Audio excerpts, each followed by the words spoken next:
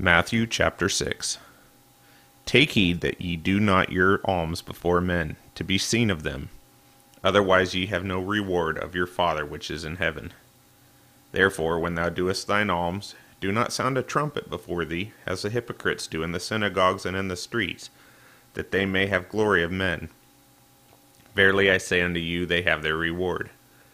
And when thou doest alms, let not thy left hand know what thy right hand doeth, that thine alms may be in secret, and thy Father which seeth in secret himself shall reward thee openly. And when thou prayest, thou shalt not be as the hypocrites are, for they love to pray standing in the synagogues and in the corners of the streets, that they may be seen of men. Verily I say unto you, they have their reward. But thou, when thou prayest, enter into thy closet, and when thou hast shut thy door, pray to thy Father which is in secret, and thy Father which seeth in secret shall reward thee openly.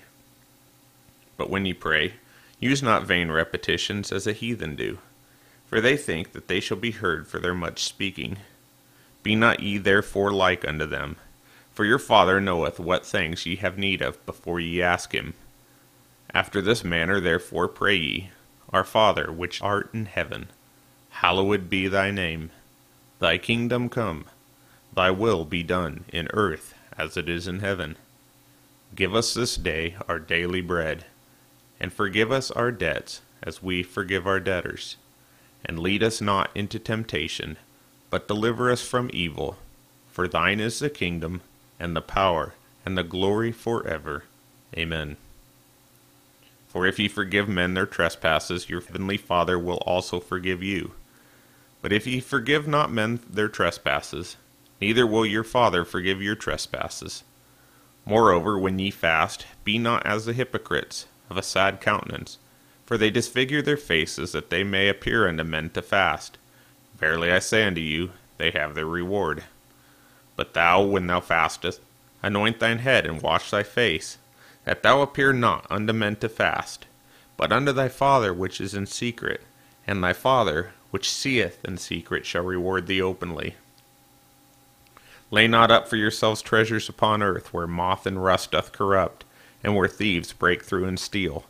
But lay up for yourselves treasures in heaven, where neither moth nor rust doth corrupt, and where thieves do not break through nor steal. For where your treasure is, there will your heart be also. The light of the body is the eye. If therefore thine eye be single, thy whole body shall be full of light. But if thy eye be evil, thy whole body shall be full of darkness. If therefore the light that is in thee be darkness, how great is that darkness? No man can serve two masters, for either he will hate the one and love the other, or else he will hold to the one and despise the other. Ye cannot serve God and mammon. Therefore I say unto you, take no thought for your life, what ye shall eat, or what ye shall drink, nor yet for your body what ye shall put on. Is not the life more than meat, and the body than raiment?